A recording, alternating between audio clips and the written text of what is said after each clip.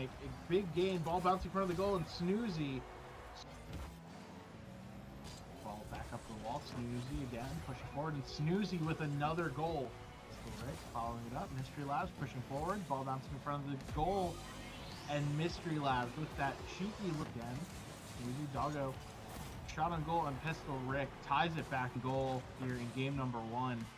Sets up the Oreos for a 1 0 start to this series.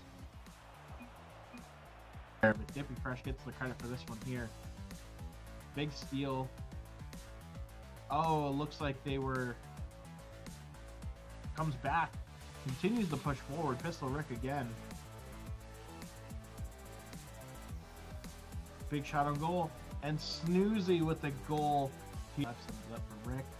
Snoozy shot on goal, and Snoozy coming up against Mystery Labs, who walks away with that ball. Good looking out for Doggo, getting in on some of the action. But Dippy Fresh looks to be pulled out. Gets it bounced off the post, and Mystery Labs again pushing forward into the corner, crossover. Doggo. Mystery Labs comes here. Four Shrek 5 ends up with a two goal lead here, 30 seconds left on the clock. Still over the defender. Mystery Labs shot on goal. And Mystery Labs picks up the first goal. Off Rick's car. Can look behind you, get it. Yes, he does. Rebound. And just